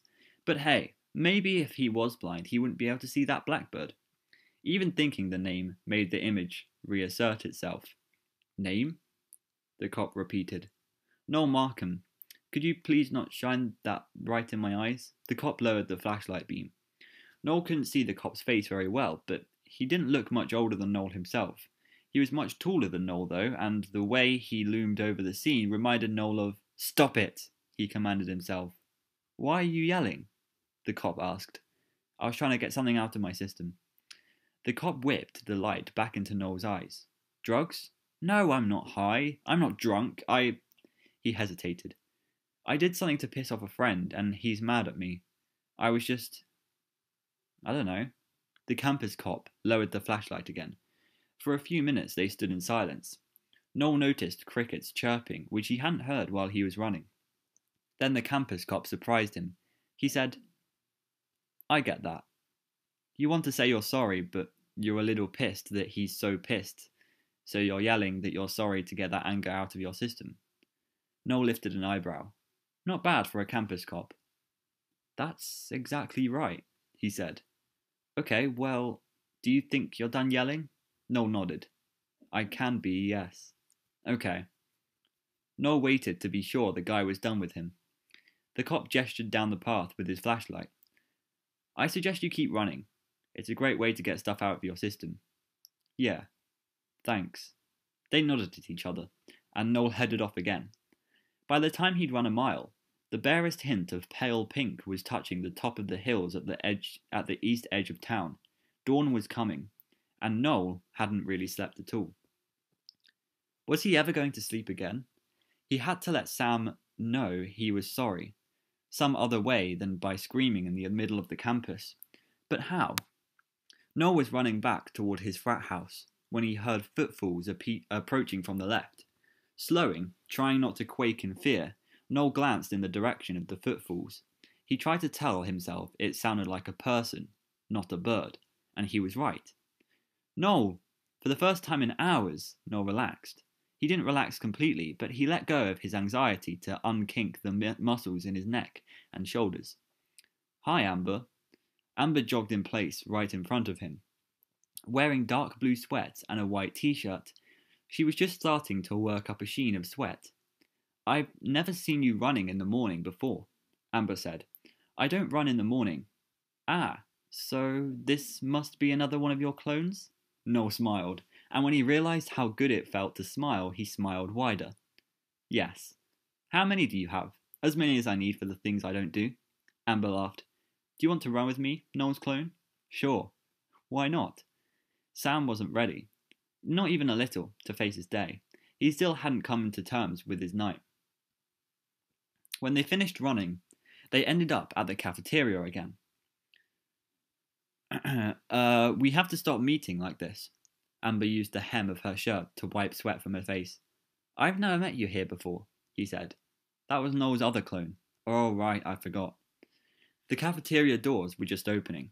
An enticing bacon aroma wafted out through the double doors. Only a few bleary eyed students were starting to straggle toward the building. Amber put her foot up on the railing alongside the stairs and bent over to stretch. Noel felt sweat trickling down his spine he closed his eyes for a second and then immediately opened them wide to try and wake himself up. Then he wiped his eyes. They were dry and scratchy. Are you okay? Amber asked. I mean, seriously, you don't look too good. Well, thanks. Amber gave him a half smile. You know what I mean. Your eyes are really red. I haven't slept. All night? Noel shook his head. Anything I can do? Noel studied her. It was funny. Just now, he realized she reminded him a little of Christine, the girl he'd bullied in junior high. She had similar colouring and her mouth was the same shape. He wondered if that's why he'd never thought of her as pretty until recently. Amber had been in several of his classes both the previous year and this one, and he'd never given her a second glance until a couple days before. Now he realized he liked her a lot. With like came trust, so he blurted, how would you fix it if you did something really wrong and it was a long time ago, but then you did it again recently and you can't apologize to the person you did it to, but you're sorry and you want to make amends somehow? Amber tilted her head and pursed her lips.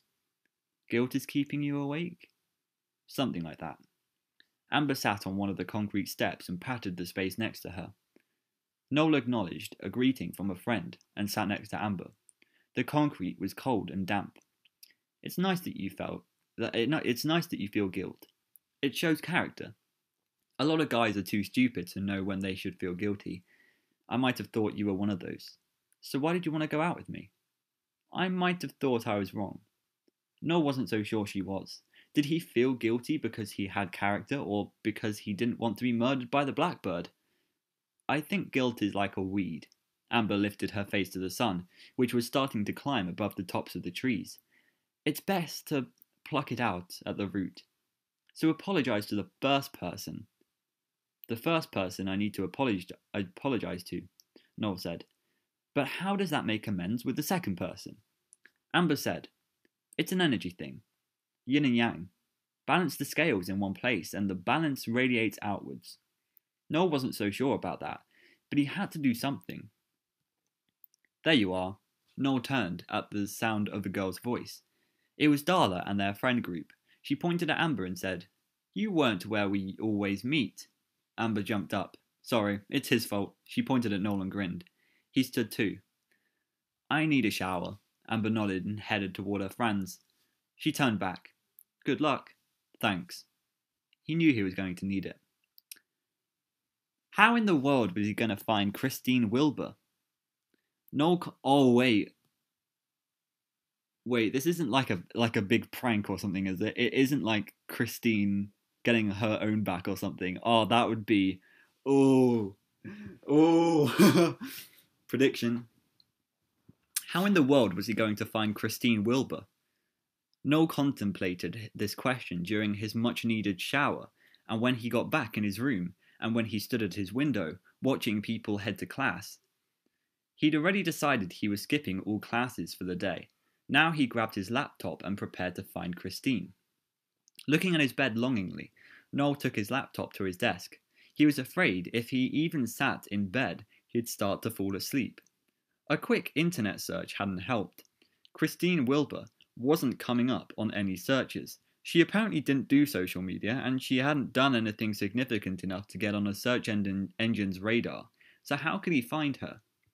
A couple of Noel's flat bro- uh, frat brothers had been talking about Sam when Noel had returned to the frat house. Sam was still missing, so finding Christine was the only way for him to be safe again.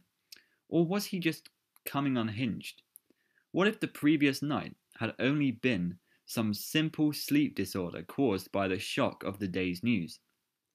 He no longer felt like he was in shock, so maybe if he tried to sleep now, he'd be okay. He hadn't seen any dark shadows or glimpses of big birds on his way back to the frat house. That was a good sign, wasn't it? Noel closed his eyes just briefly and felt like he could fall asleep sitting up. Okay, that was it. He was going to lie down and go to sleep and forget all about Christine Wilbur and Sam and the Blackbird, since the only injuries he'd sustained in the harrowing hours of the long night were ones he caused himself. He had to conclude that the threat was in his head, and if it was in his head, he could well darn beat it. He could darn well beat it. Resolved, he set aside his laptop and got into bed, fully dressed in jeans and a white t shirt. He sighed, stretching out. He put his head on the pillow, closed his eyes, and sleep took him right into hell. Ooh, I like that. I like that sentence. That really short, simple sentence. I like that. Right into hell. Ooh. The second Noel's brainwave slowed, the blackbird appeared in a dissonant din of keening and buzzing that was so intense it felt like a physical invasion boring into Noel's ear canal. Diabolical wings leaned over Noel menacingly. menacingly. Aiming its beak directly at Noel's right eye, the blackbird bent even closer. Noel knew his eye was closed because he was asleep, but in the dream world, his eyes were open to see the beak move lower and lower. At the same time, the weight ramming down on him got heavier and heavier. Noel's chest was being crushed under the feathered mass. Even though he knew it would do no good, Noel wriggled and jerked himself back and forth, trying to throw off the hideous creature. He concentrated on trying to free his legs, but that just made things worse. His legs started to spasm, and it felt like someone was trying to tear them off his body. The pain in his limbs was excruciating. The sound morphed, too. The high pitched tones abated, only to be replaced by a combination of crackling static and a loud hum interrupted at regular intervals by a deafening zap sound that reminded Noel of the electric bug zappers his, fa- his grandfather kept by his back deck. Only this zap was not designed for mosquitoes. It was tuned to something the size of a pterodactyl. Noel realized that he could no longer breathe. the, sorry, that line is just funny. The weight on his chest was flattening his lungs and stopping his heart. He felt like he was being dragged into some other realm, the blackbird's realm. And as he left his world, the world he realized he had taken for granted all his life, his body began to tingle. The tingle sped up, and they became and they became vibrations so fast and powerful it felt like every cell in his body was palpitating at a jackhammer pace. Faster and faster, his body vibrated, and it began to emit a droning sound. Brrr. What? uh, Noel tried to scream, but he couldn't even use his mouth. He realized he couldn't even feel his mouth or the rest of his body. He wasn't just paralyzed, he was numb. And that was left of Noel. Uh, all that was left of Noel was his consciousness. His mind was still functioning fine. In fact, it was functioning too well. It was giving him a relentless rundown on the system wide failure of his body. Noel's existence receded further and further into an inky, feathered oblivion. The noise crescendoed, crescendoed, crescendoed. Oh my gosh, crescendoed. The pain intensified. Noel was sure he was on the verge of total annihilation. And then it all stopped. Except for a vise grip on his arm, an annoying jostling of his shoulder, and the sound of someone yelling, Dude! Noel opened his eyes. Ian let go of his arm and shoulder and backed away from the bed. Dude, he repeated, but at a low volume. Noel realized he was bathed in sweat. His skin felt clammy and his clothes stuck to him. He ached all over. Are you okay? Ian asked. Noel couldn't answer that question, so he just shook his head and then nodded. That should clear things up. Ian, wearing only red boxer shorts covered with charging bulls, uh, with charging bulls, dropped into Noel's desk chair. Noel looked at him. He'd never seen the big guy look so shook up. He'd never seen Ian in his room before either. They only hung out when other frat brothers were around, usually in the main lounge downstairs. How'd you get in here? Noel asked. Ian blinked, then twisted his mouth in a guilty little kid way. Oh, I sort of broke your door.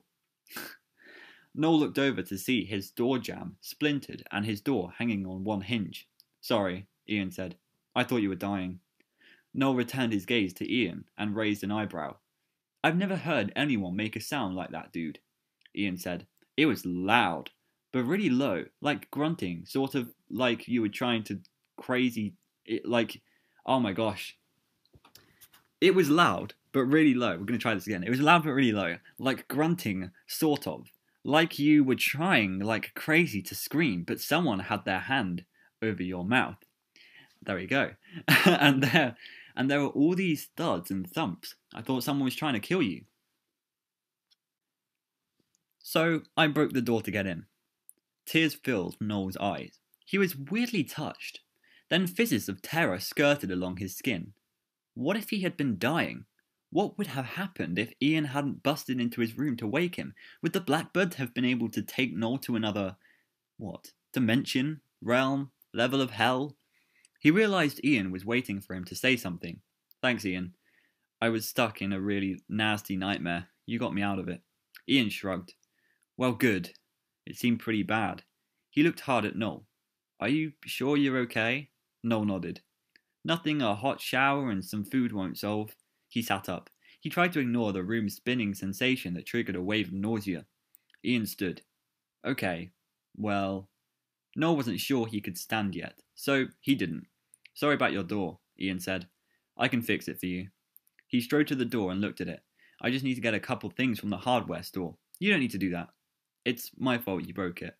Ian shook his head. No, I want to. I like fixing things. It'll take my mind off the makeup test I have later today. I need to pass it so I can keep playing ball. No, um, Noel nodded. Let me know if you need uh, any help with uh, classwork. Ian looked closely at him, probably to see if Noel was jerking his chain. He wasn't. He might have been the day before, giving the dumb jock a hard time, but not today. Ian nodded. Thanks. He went through the now unguarded opening to Noel's domain. Uh, Ian? Noel called. Yeah? Ian turned.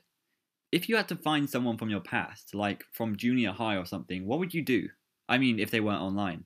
Um, I don't know. Do you know their parents? Noel snapped his fingers. That's brilliant. Yes, thanks. Great. Thanks again, Ian, for breaking in. Ian shrugged. Anytime. I hope not, Noel muttered when Ian went back to his own room. Noel stood, and for the second time that day, he headed for the showers. In the shower, he chast. What? What is that word? I've never seen that word before. He did something to himself for being so dense. um, yeah, I don't know that word. I'm sorry. Uh, he knew Christine Wilbur's parents were still in town because her dad owned Wilbur's Eats, a popular greasy spoon diner downtown. Now, could Noel have forgotten that? One of the things he'd often said to Christine when he was bullying her was, "Say you've eaten everything on your dad's menu a thousand times. What do you mec- what do you recommend?" Noel groaned at the memory and turned the water to cold. He flinched when the icy bite shocked his skin. But he both needed and deserved the jolt. It would help him do what he now needed to do. Noel was relieved to find Wilbur's Eats mostly empty when he arrived. Only one silver vinyl booth was taken by an elderly couple picking through scrambled eggs and hash browns, and only one red vinyl stool was occupied by a sleepy looking guy in a janitor's uniform. He was drinking coffee and me- methodically, there we go, ploughing through a large piece of cherry pie. Lovely. The diner smelled like a diner, a good one. the aromas came from the food. Um, sorry, I'm I'm like a little bit off right now because uh, that line the diner smell like a diner. It's, it's like saying, "Oh, that apple is an apple." Um, that apple taste of apple. Um, the aromas came from the food, a weird but not unpleasant mix of onions, fried chicken, apples, and chocolate, and the coffee, not from grease. Clunking and sizzling sounds came from behind a low divider wall separating the dining room from the kitchen.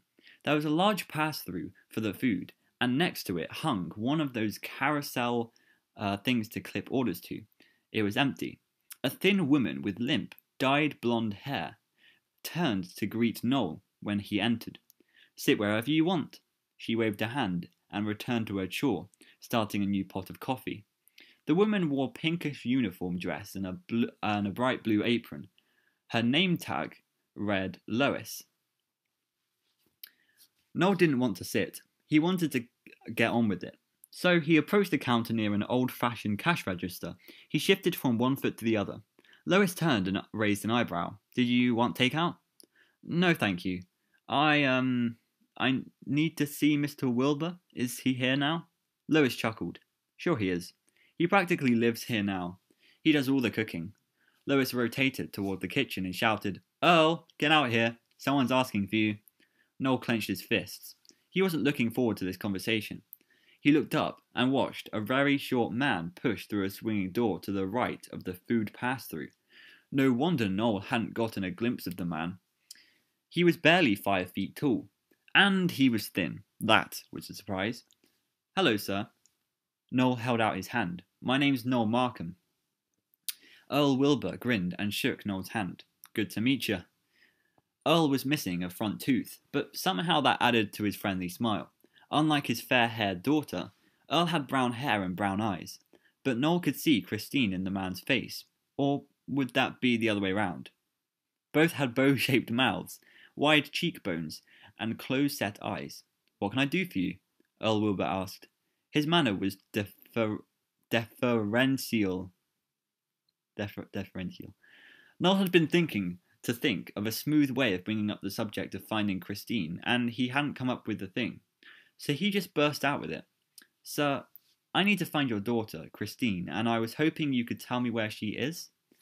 Earl Wilbur's friendly expression didn't change. He just said, That right? He leaned an elbow on the counter across from Noel. Noel noticed Earl Wilbur's forearm was cross-hatched with little burn scars from short order cooking. And why is that? Earl asked. You sweet on her? Lois asked. Her voice was low and scratchy. Earl laughed and patted her shoulder. Well, now, Lois, I expect that's his business. Outside, the sun disappeared so abruptly everyone in the diner turned to look through the picture window. Black storm clouds were tumbling through across the sky. Beneath the clouds, right outside the diner, a huge hunched and feathered form shuffled past. What? Noel did a double take. Had he just seen that, or had he imagined it? He looked around to check if anyone else had seen it. The elderly woman in the booth was looking past the elderly, elderly man's shoulder, her gaze focused on the clouds and her face pinched in what could have been fear or worry. But maybe she just didn't like storms. Whether, she, whether he saw it or made it up, Noel had a feeling he needed to get a move on. Looking back at Christine's dad, Noel said, I'm going to tell you the truth, even though it makes me look like really bad. But he shrugged. I was in junior high with Christine, and I was, well, I was a bully. I wasn't nice to her at all, and I need to tell her how sorry I am that I was so, like, mean to her. Is this one of those make amends things? Lois Arsenal. Not in any not in any official way, I just need need her to know I'm sorry. Earl Wilbur rubbed his jaw. You're the boy who threw burrs at her? Noel scrunched up his face in pure embarrassment. He looked down. Yeah, that was me. When Earl Wilbur didn't say anything, Noel looked up at the man. He expected to see anger in the man's eyes, but all he saw was compassion. Earl Wilbur held his gaze for several seconds. Noel squirmed, but he didn't break off the connection. He had to face what he'd done. What better way than looking than looking his victim's father in the eye? Finally, Earl Wilbur said, Okay, I'll tell you where she is. She's such a sweet girl, Lois said. Noel ignored his sudden nausea and accepted the directions Earl Wilbur gave him. Then he went outside, making sure he didn't look up as he hurried to his car. Noel's car wasn't much of a car. Truthfully, it was basically a piece of junk on wheels. It was such a piece of junk, in fact, that Noel never admitted he even owned the car.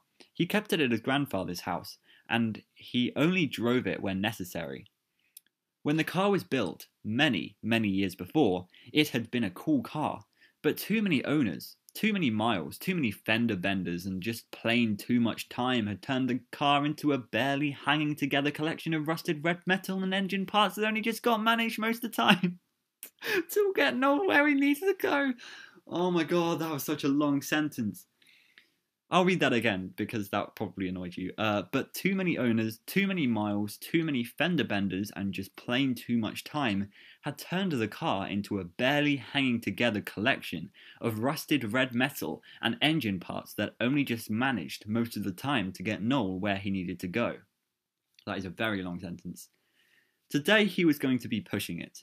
He only had to go about 35 miles, but the small campus where Christine was a sophomore like Noel, was up in the mountains. The school was a music and arts college, according to Christine's dad. The storm clouds were still hanging around and they made Noel feel very, very nervous. Whenever he accidentally glanced up at the sky, he saw feathered wings beating the billowing clouds. He also kept seeing an immense black feathered shape shambling along in the wake of his straining vehicle. Every time that happened, he pushed the accelerator pedal harder, which didn't help at all because he already had it pressed to the floor. Noel's car was struggling, predictably, with the uphill drive. After about, 30, uh, after about 50 minutes, however, Noel arrived at a fancy modern cement archway over a narrow road that led into a small collection of glass and cement sculptural structures that nearly sang out artsy. As Earl Wilbur had instructed, Noel followed the road to the left as it wove through two inverted triangle shaped buildings and took Noel right into the parking lot of an asymmetrical four story dorm. As soon as Noel turned off his car, thunder rumbled in the not nearly far enough way distance. A big drop of water hit Noel's arm as he got out of the car. Refusing to look around, he trotted toward the dorm, but even without seeing his oppressor, he knew it was there. He could hear the laborious, sorry, the laborious lugging of feathers across the pavement, and he could feel the air currents behind and around him shift as his hunter closed in. Noel was sweating by the time he got inside the dorm. The nausea that had started in the diner had grown and had been uh, and been joined by a pounding headache. Now Noel was starting to feel lightheaded he had to hurry. Practically running through a sprawling lounge, his shoulder blades tingling with the sensation of being tracked, Noel glanced at a few girls sprawled on plush sectional sofas, chattering away. Oddly, he realized as he put the lounge behind him that he had no idea what the girls looked like or what they were wearing. He felt like his eyesight was getting blurry. The building smelled like cloves, and it was remarkably quiet for a dorm. Only the faintest hint of a staccato. What is that? Staccato. Only the faintest hint of a staccato uh, beat can be heard from a distance. It was a little after 5 pm, and Earl Wilbur had told Noel that Christine was nearly always in her dorm that time of the day because she ate early before going to practice. Earl didn't say what kind of practice. Noel easily found the room number Earl had given him. Leaning against the wall to steady himself, Noel raised a hand and knocked. Come in, a cheerful musical voice called. It sounded like a uh, it sounded a little like Christine, but it was too upbeat to be her. Noel opened the door, looking around the room, and froze, staring. The room had only one person in it, a girl, and the girl was obviously Christine. He might have doubted that if he hadn't just been with Earl Wilbur, but this girl had her dad's features, if not colouring. Christine was still as blonde and freckled as she'd been in high school, but she still had the slightly crooked teeth he remembered, but otherwise she was a very different Christine Wilbur. Hi, are you looking for Claire? Huh? My roommate. Noel shook his head. He was having trouble staying upright. His legs felt weak, and something pushed against his back and down on his shoulders as if trying to pile him into the floor. Then who are you looking for? Christine asked. She twisted her nose in the twitchy way she did when they were in junior high, but she didn't seem to see anything behind Noel. He tried to tell himself for the hundredth time that he was imagining things. When Noel didn't answer, Christine said, I think you have the wrong room. She tilted her head with a sentence question. Christine sat at a school desk similar to Noel's. Um, she had a book open in front of her and she held a plastic container of salad. It was nearly empty. When Noel didn't answer Christine, she looked down and forked up a cucumber. She bit into the cucumber and its distinctive scent filled the air. So did her crunching sounds. Noel kept staring. Apologies. Uh, Christine Wilbur sat cross legged on her desk chair, and one of her bare feet kept time with music that must have been in her head. She wasn't wearing. She wasn't. Yeah, she wasn't wearing earbuds. She was dressed in a full length, skin tight, light blue leotard. Christine Wilbur wasn't overweight anymore. She was obviously as fit as Noel was. That wasn't the only way she was different. Although she still had the same facial features and quirky expressions, Christine held herself with an air of confidence that made it clear she was a very different girl from the ones he'd known in junior high. Noel's mental processes were struggling to keep up with the unexpected information. His neuro pathways were announcing, This input does not compute. Do you talk? Christine asked. She hesitated and worked her mouth as if trying to find the right words. Then she said, I'm not being mean or anything, it's just that you're standing there and staring. She clasped her hands together and shrugged. Noel shook his head to try and re- reset his circuits. You don't remember me? he asked. That's the first thing you say? Christine laughed. He remembered that laugh. He remembered that laugh, sorry. Uh, he'd only heard it once in junior high, when he'd watched her play with a ferret someone had brought to show and tell. Her laugh was a pleasing trill that made you want to laugh too. She set down her salad. Okay, let's see. She stared at him, then shook her head. No, I don't remember you. Should I? I would. You would what? I'd remember me. If I were you, I mean. Noel pressed his hands to his forehead. Christine shrugged, shrugged again. Why don't you just tell me who you are? Noel blew out air. Okay. A couple girls came down the hall behind Noel. They were singing at the top of their lungs. He waited until they were well past, trying to ignore the fact that they'd been followed by that swishing, thumping sound that told him his feathered uh, nemesis was nearby. He opened his mouth, and he found he couldn't get the words out.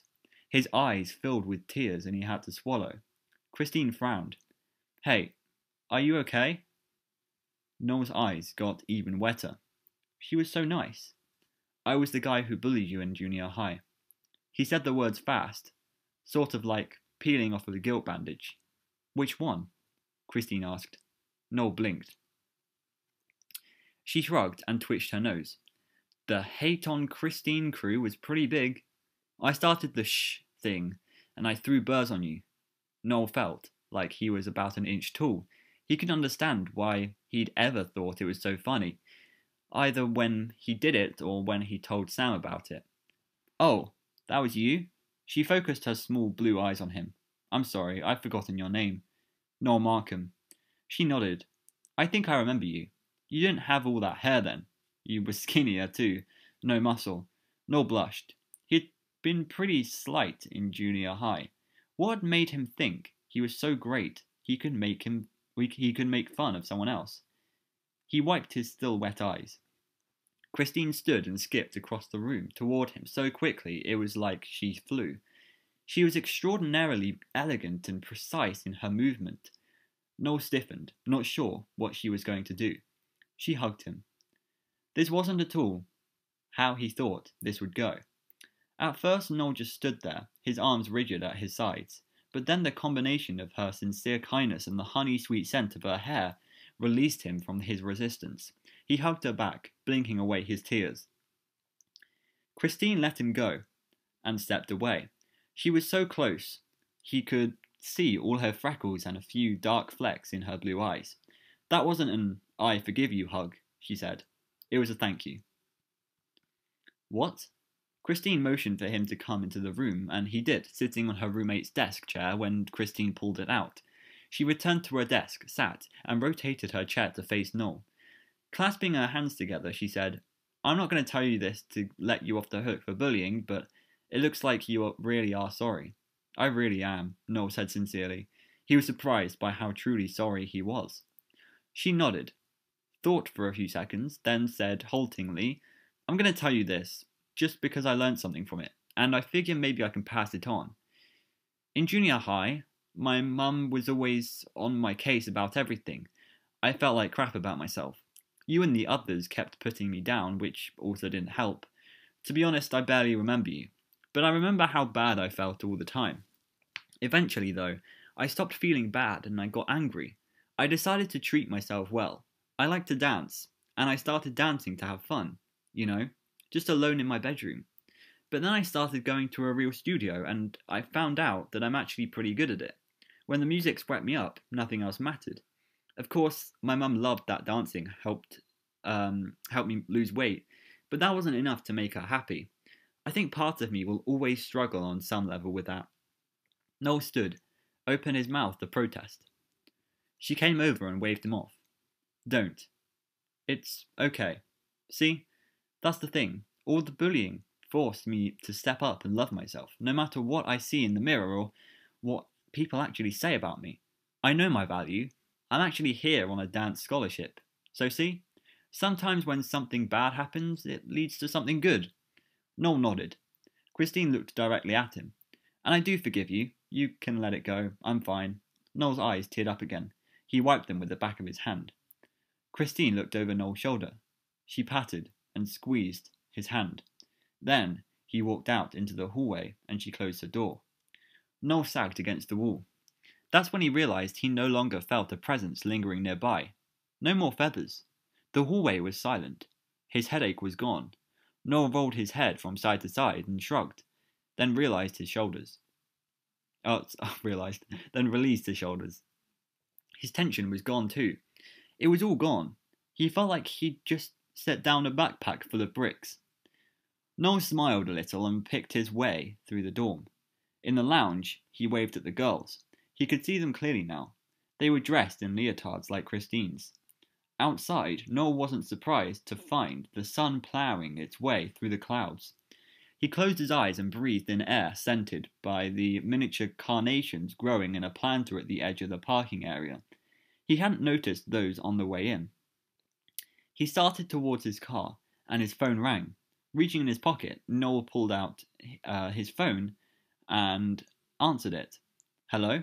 The first two words spoken into his ear brought Noel to a stop. As he listened, he started grinning. Then he said, I'm on my way. He ran for his car. Uh. What? Sam was waiting for Noel in front of the film studies building when Noel got back. Sam! Noel shouted. He ran toward his friend. Sam raised a crutch and waved it in the air, then put it back down when Noel reached him. Noel grabbed Sam and hugged him. As best he could, Sam hugged him back enthusiastically. There's my favourite idiot, Sam said. Where were you? You didn't say. I went. Noel waved the air. It doesn't matter. What happened to you? Sam rolled his eyes. Apparently, I've been hanging around you too long. Idiocy must be catching. Noel smacked Sam's shoulder. Ow! Hey, wounded guy here. Sam winked. Seriously, I was being dumb. I was walking on the tracks with headphones on. Dumb is one word for it. Sam laughed. Yeah, right?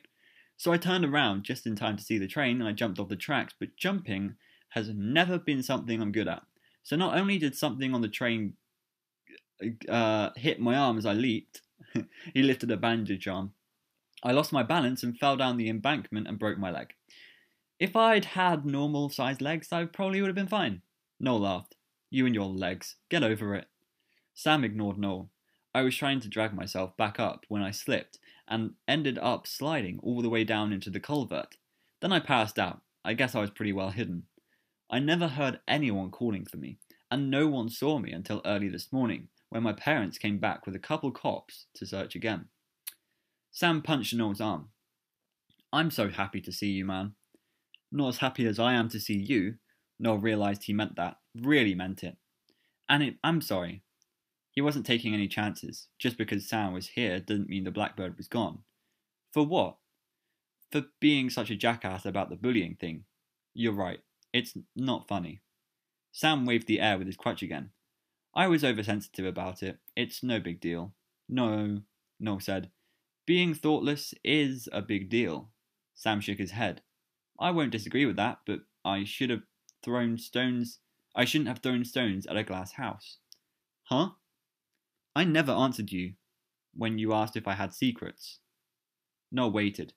Sam leaned in. Remember I said I was bullied? Noel nodded.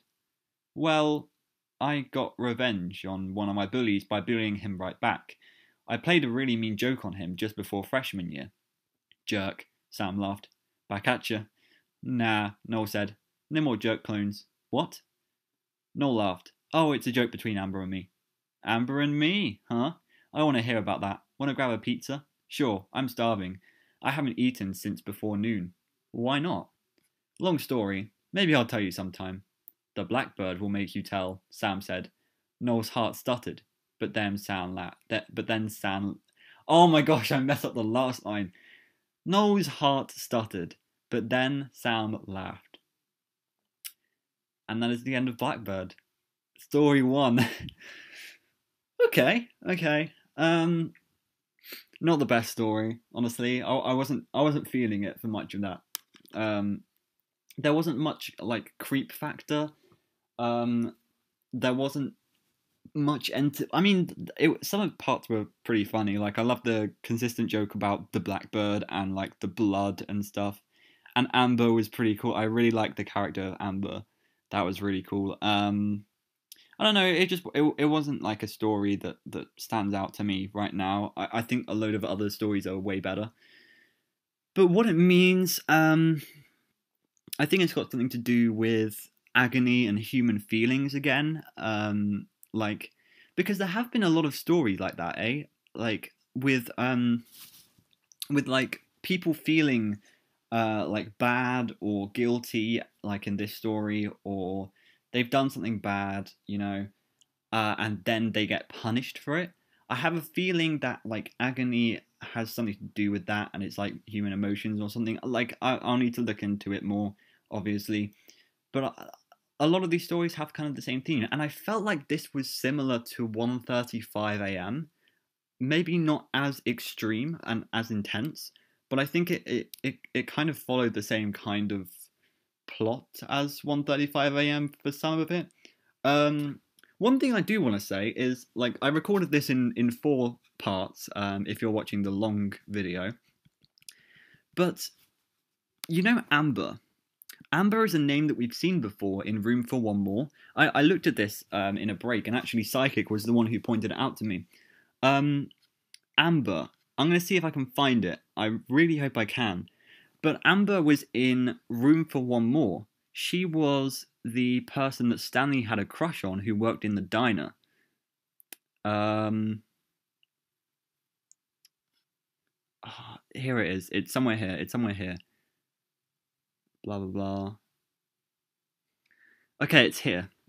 So, Amber, okay, get, like this is a mini theory. So, Amber is a name that we've seen before. Where we've seen her before? In Room for One More. Amber is also in this story, Blackbird. And one of the lines that she says is, Do you have room for one more? I rest my case.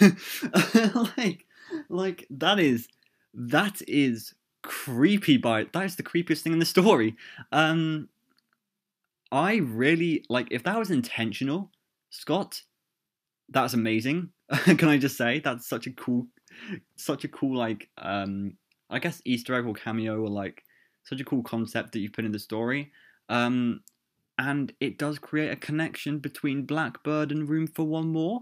Technically, if Amber is the same person, it means that um, Blackbird comes before Room for One More. Uh, I'd assume because they're in they're in high school or they're in college or whatever. Anyway, that is it for the first story of Blackbird. I will be reading the next one, which I believe is the real Jake or something. The I, I really should know the names of the, the, the stories. Yeah, the real Jake. Um, I'll be reading the real Jake next, so make sure you stick around for that. Uh, and yeah, I, I will see you then. Goodbye.